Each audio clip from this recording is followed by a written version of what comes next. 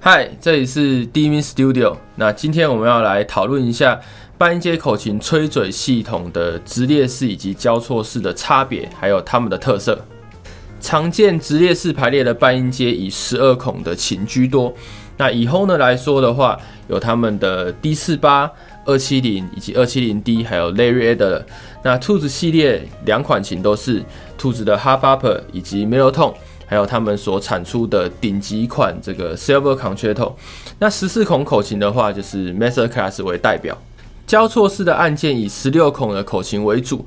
那以 Suzuki 来说，有他们入门款的 SCX、进阶款的 Sirius 以及高阶款的 Fabulous，在十六孔的设计上都是交错式按键。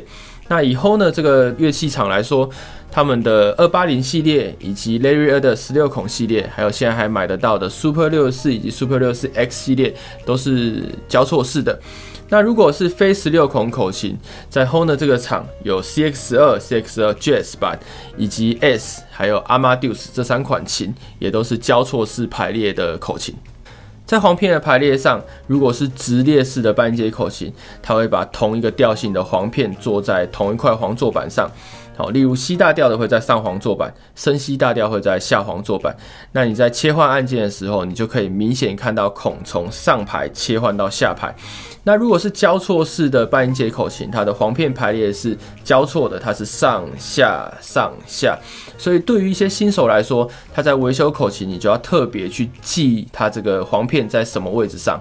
在手感方面。直列式的半音阶口琴，因为它的按键程序比较短，所以它在做半音切换的时候可以非常的快。那如果你是使用交错式的，它的程序会比较长，在切换半音的时候会稍微慢一点。不过我觉得这个是个人的习惯问题，因为我从小就是使用十六孔的半音阶口琴。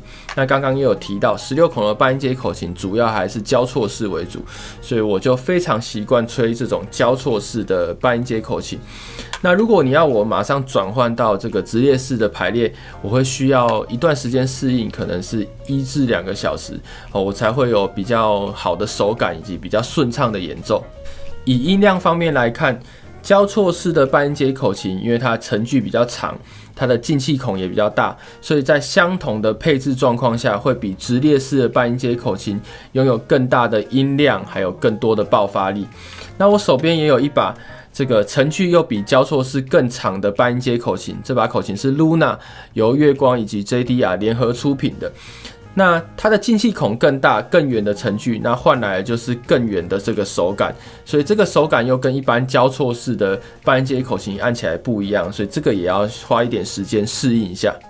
影响一把半音阶口琴好吹程度以及音量，其实不是只有直列式以及交错式排列这么简单而已，背后有许多复杂的设计以及生产时候精密度的问题。那这两种排列的半音阶口琴都是类似的，不管是它的拆装方法以及保养方法，在世界上也有非常多的杰出演奏家所使用，所以你只要挑一个好上手、喜欢的即可。那以上就是这一集的影片内容，这里是 Dimi Studio，我们下次见，拜拜。